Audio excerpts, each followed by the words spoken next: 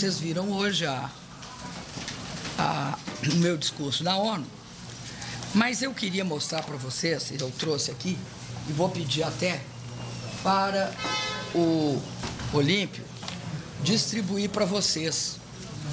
O que, que eu trouxe? Podia ficar com isso aqui? O que, que eu trouxe? E depois você me dá isso. Eu trouxe o mapa que o pessoal da FAO me deu, que mostra. Eu vou mostrar. O mapa da, da FAO é esse aqui. É o Brasil ficando. É essa, essa cor que tira o Brasil do mapa da fome, assim como o Uruguai e a Argentina, eu acho que eles já estavam fora, e o Chile. O que é muito interessante. Né? Aqui é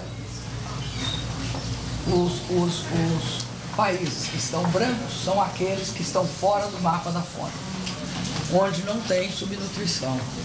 E esse aqui é aqueles que atingiram o, o Objetivo de Desenvolvimento de, do Milênio, ODM, tá? que é a fome zero. Né? Esses são esses dois os mapas, o mapa da fome. Eu vou distribuir, aqui tem mais esse complemento ainda, mas eu vou distribuir para vocês, tá? O verde, então, é quem sabe o que É, o, o, o verde está aqui escrito, ó. A prevalência de under, de subalimentados na população, percentual. E aqui na tabela eles mostram que os branquinhos são aqueles que saíram do mapa da fome. Os que não são branquinhos estão no mapa da fome.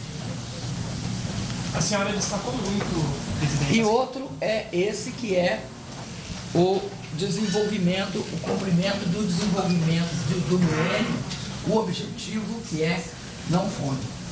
Os países da Europa, os Estados Unidos, é porque eles já não tinham esse problema, por isso eles estão branquinhos aí? É, aqui é por isso. Ok. Tá?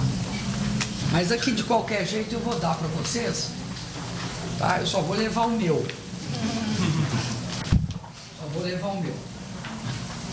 Bom, eu queria falar só sobre algumas coisas. Primeiro, ficou visível é, uma questão que eu queria deixar claro o que, que acontece na, naquela declaração apresentada por alguns países, não foi apresentada pela ONU, não é uma declaração da ONU sobre florestas. Foi apresentado por três países: Alemanha, Reino Unido e Noruega. Algumas ONGs e empresas internacionais, empresas privadas internacionais. Por que, que é que o Brasil se recusou a assinar? Primeiro, porque não nos consultaram. Somos um país com uma grande quantidade de florestas que temos reconhecidamente, do ponto de vista internacional, a melhor política de redução de florestas. Nunca nos consultaram. Um, uma, um, um dos assessores disse que não, não nos acharam. Coisa um pouco difícil, dado o tamanho do país.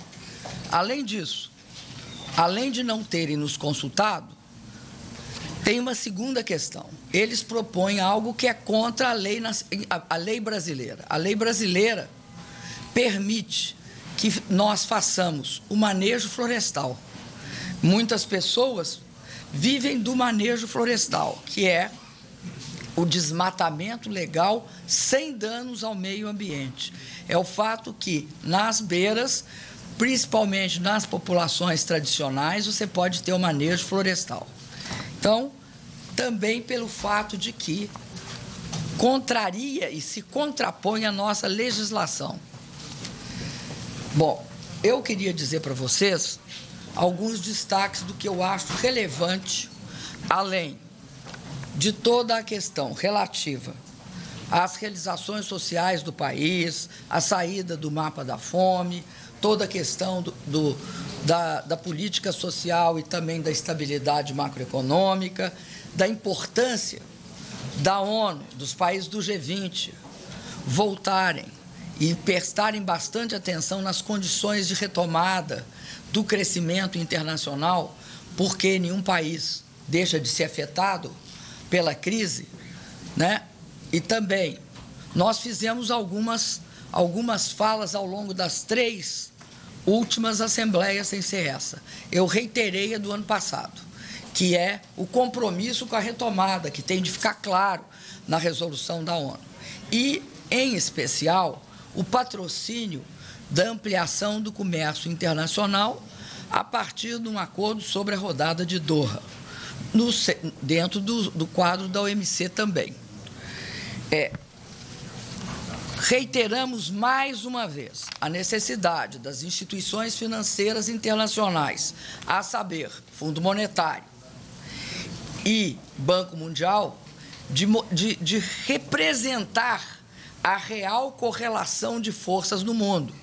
Esses dois órgãos não podem continuar deixando que países que hoje têm grande relevância não tenham a mesma proporção no que se refere às cotas. Isso também é uma pauta sistemática do governo brasileiro. Evidenciamos e relatamos o que houve na cúpula dos BRICS, basicamente a formação do Banco de Desenvolvimento dos BRICS e do Acordo Contingente de Reservas, cada um com 100, 100 bilhões de dólares. Agora, os grandes desafios. Primeiro, a paz e a segurança coletiva. É fundamental, primeiro, considerar que o mundo não resolve velhos contenciosos e novos contenciosos são agregados aos velhos, acumulando um quadro de imensa instabilidade, com grandes perdas de vidas e com grande instabilidade política internacional. Constatamos que o uso da força, que vai desde intervenções militares amplas até localizadas, não construíram a paz no mundo. E que o melhor caminho para se construir a paz será sempre o diálogo e a diplomacia. Em que pese todo mundo concordar com isso, isso não tem sido praticado. Nós consideramos que a Palestina, a situação na Palestina, o conflito israelo-palestino, o conflito na Síria, no Iraque, na Líbia, da Líbia se, se, se expandindo e contaminando o Sahel, e na Ucrânia, têm de ser resolvidos dentro dos marcos legais internacionais. Quais são eles? É o direito internacional e o fato de qualquer ação ter de se submeter a, ao acordo do Conselho de Segurança da ONU. E aí nós também sempre temos reiterado, nos últimos três anos do meu governo, toda, em toda a reunião, que é fundamental a reforma do Conselho Nacional, ah, desculpa, Conselho, né, o Conselho Nacional, veja só, hein? O Conselho de Segurança da ONU. Por que que é importante? Porque é o seguinte, é outro, outra das instituições que emergiram da Segunda Guerra Mundial. De lá para cá, você tem toda uma trajetória internacional e o mundo merece ter uma representação melhor no Conselho de Segurança da ONU para evitar que haja essa paralisia dentro do Conselho. Essa paralisia. Porque é uma verdadeira paralisia. E aí, em vários momentos, o que, que acontece? Acontece que as ações se dão fora do Conselho, sem esse, esse carimbo de, de, de legalidade que o Conselho pode dar a uma ação. E não só de legalidade, mas também dando a ela a chancela dos, de todos os países da ONU. Como que deveria ser composto o Conselho? Nós defendemos a, a, nós defendemos a participação do Brasil. Estamos no grupo G4, é G4, né, gente? É G4. É, nós defendemos que nós sejamos, que se mude não só a representação fixa, mas também aqueles representantes que vão se alternando. Amplie-se também né, a representação que substitui, que, que tradicionalmente permite que outros países é, passem, como nós já fizemos, passem um determinado período dentro do Conselho. É possível negociar com o Estado Islâmico na Síria e no Iraque? Esse é o ponto que o presidente Barack Obama exemplo, na discussão, não, não é possível negociar. Que só terroristas, não? Seria possível. Ô, ô, gente, vocês acreditam que bombardear o ISI resolve o problema? Porque se resolvesse, eu acho que estaria resolvido no Iraque. E o que se tem visto no Iraque é a paralisia. Isso não sou eu que estou dizendo, é só vocês lerem o New York Times de ontem. O que, que o New York Times diz? Que houve uma estagnação. Porque o ISI tem apoio de comunidades sunitas. Então, o que se tem de olhar é, de fato, a raiz desse problema. Vocês sabem aquele negócio quando você destampa a caixa e sai todos os demônios? Os demônios estão soltos, todos. Não vamos esquecer o que ocorreu no Iraque. Houve uma dissolução do Estado iraquiano, uma dissolução. Então, hoje, a gente querer simplesmente é, bombardeando o ISIS, dizer que você resolve porque o diálogo não dá, eu acho que não dá também só o bombardeio, porque o bombardeio não leva a consequências de paz. Porque você quer bombardear por quê? Porque alguém internamente quer que você bombardeie. Você vai bombardear para quê? Para garantir a paz? Presidente, é, no, no, na invasão do Iraque, originalmente, o Conselho de Segurança da ONU votou contra a invasão do Iraque e, ainda assim, os Estados Unidos lideraram esse movimento de invasão do Iraque. Qual é a esperança que a senhora tem? E depois disso, nada aconteceu por, por isso mesmo. Qual a esperança que Por isso é que eu acho. Possível modificar essa organização, que foi totalmente inefetiva, que não conseguiu barrar uma, uma, uma invasão do Iraque, como era a maioria da, da, intenção dos países ali representados, e depois disso nada aconteceu. Que representatividade ela tem? Como é possível mudar essa organização? Olha, eu acho que primeiro a gente sempre tem de ter esperança. Eu tenho esperança que mude. E o meu papel como representante de uma nação do porte do Brasil, que é uma nação reconhecidamente pró-paz, que nunca atacou, nunca é, teve uma ação ilegal nessa área, é minha obrigação defender que isto não se repita, que não se faça ações ao, é, fora do âmbito da legalidade da ONU. Primeiro, porque, como você mesmo disse, está claro que a invasão do Iraque não resultou na paz no Iraque. Está é, é assim, os fatos gritam. Então é uma discussão que eu não vou travar aqui se resultou ou não. Está na cara que não resultou. Não resultou, tanto é que hoje bombardeiam o Iraque. Hoje há, inclusive, esse produto, esse subproduto da invasão chamado ISI. Bom, mas eu quero continuar a minha parte no que se refere à minha fala na ONU. Além de eu achar que o Conselho tem de ser reformulado, acho que o Conselho tem de ter claramente um poder de rejeitar certo tipo de ação unilateral. Eu acho que é o único poder que resta ao Conselho é isso: rejeitar de forma clara o poder de, de o, o, aliás, rejeitar de forma clara. Esse é o poder. Porque o, o, o Conselho de Segurança na ONU é um órgão colegiado, é um órgão de, de vamos dizer assim, de caráter político. Não é possível é achar que cada vez que acontece alguma coisa, a gente vai atacar e isso vai resolver.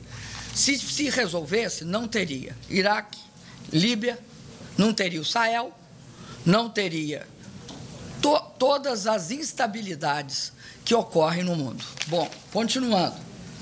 É, eu acho importantíssima a discussão, que é a discussão do meio ambiente. Vocês devem estar lembrados que eu, na época, era ministra-chefe da Casa Civil do presidente Lula, quando coordenei a nossa delegação na conferência COP15, que é a conferência de Copenhague. Naquele momento, o Brasil definiu uma redução voluntária entre 36% a 39% das emissões de gás de efeito estufa. Isso foi em 2009. Nós temos moral para falar nisso, porque de 2010 até hoje, nós reduzimos ano a ano 650 milhões de toneladas de dióxido de carbono de emissão. Então eu vou falar uma coisa que o Brasil, mesmo não tendo havido um acordo, o Brasil fez de forma é, voluntária e, além disso, legal, porque colocamos isso em lei. Bom, o que, que eu acho? Eu acho que a discussão não pode repetir Copenhague. O que, que é a repetição de Copenhague? É assim. E foi assim em Copenhague, não pode ser assim em 2015. Que era assim: se você reduzir, eu reduzo. Agora, se você não reduzir, eu não reduzo. Primeiro, os países desenvolvidos fizeram o seu todo o seu crescimento baseado em fortes emissões de gás de efeito estufa. Ao contrário de nós, um dos motivos mais graves de comprometimento de, é, e que permitem essa emissão é, são as matrizes energéticas usadas. No caso da elétrica, é do, era dominantemente, ainda é em parte, carvão e diesel. Ou, pior, óleo combustível pesado, que produz muita emissão.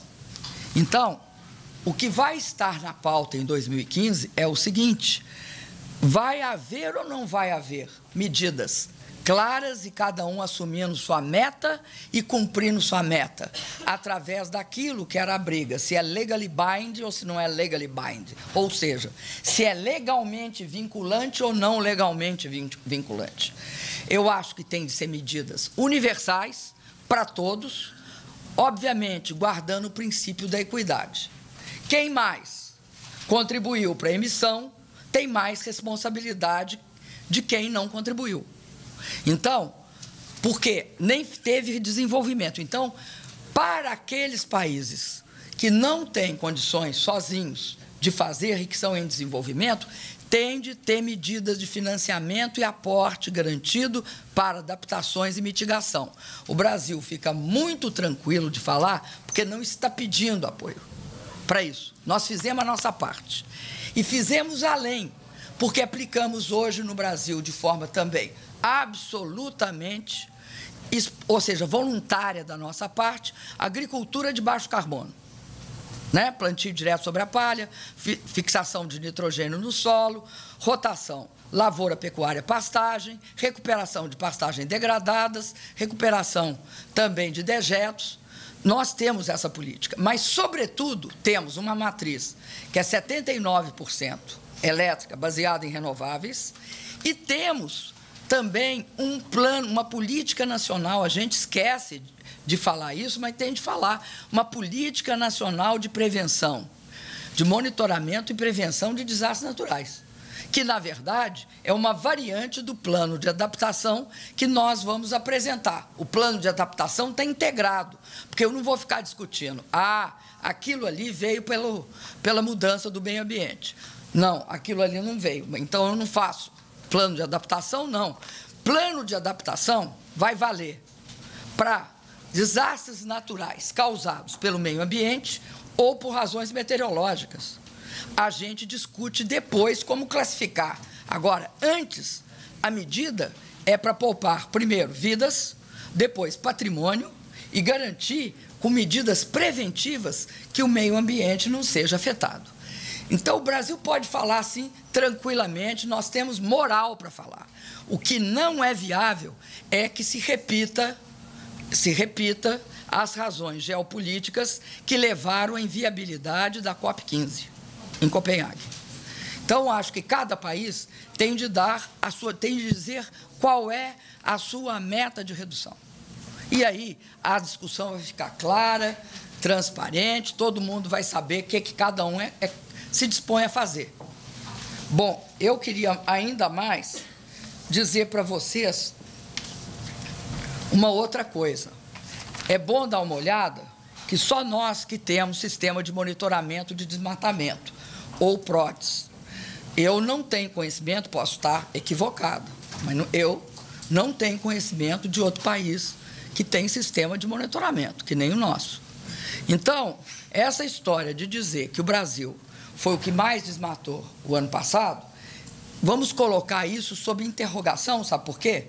Porque a revista Science, em 2011, mostra que entre 2011 e 2012, houve um país, que é a Indonésia, que desmatou mais que o Brasil, desmatou 20 mil quilômetros quadrados. Então, eu sugiro que se olhe com mais, com mais, é, vamos dizer assim, mais precisão antes de falar que nós somos grandes desmatadores. Até porque ontem eu mostrei para vocês a queda. Nós saímos de 27 mil num determinado momento lá atrás, passamos para 11 mil e chegamos hoje a 5.800. E vamos cair em 2014, eu garanto a vocês. Perfeitamente, duas, duas perguntas, porque agora eu vou para Bahia. Presidente, a senhora fez um discurso exaltando as conquistas sociais do governo da senhora e por esse presidente Lula nos últimos 12 anos, destacando muito a questão do emprego, da renda. A senhora falou aqui como chefe de Estado, mas também como candidata à reeleição. Foi um discurso político de campanha? Olha, eu sugiro que vocês olhem meus quatro discursos aqui. Nós, hoje, Pois é, os meus quatro discursos são muito parecidos no que se refere a eu falar sobre uma questão fundamental. Eu falar que o Brasil reduziu a desigualdade, diminuiu a desigualdade, aumentou a renda, ampliou o emprego em todos os é. discursos, em todos eles, porque isso é um valor aqui, é um valor que o mundo reconhece, que nós fizemos isso. Nós, em 12 anos, tivemos uma redução que poucos países do mundo tiveram. Então, eu digo isso porque, como chefe de governo, eu tenho imenso orgulho disso. E acho que uma parte do respeito que o Brasil tem no, no plano internacional decorre do fato da gente ter feito isso. Nenhum país, como nenhuma família, respeita aqueles que chefiam o país ou a família que não melhoram a vida dos seus. Então, ter melhorado a, vida do Brasil, ou seja, ter saído do mapa da fome, ter diminuído a pobreza, num mundo que desemprega centenas de, de milhões de pessoas, centenas de milhões. Por quê? Só o G20 está desempregando 100 milhões. Nós criamos emprego. Então, este é um valor, acho que é um valor para o Brasil e é um valor para ser afirmado internacionalmente em todas as minhas vindas à ONU. Eu abri e disse isso. Muito obrigado para vocês.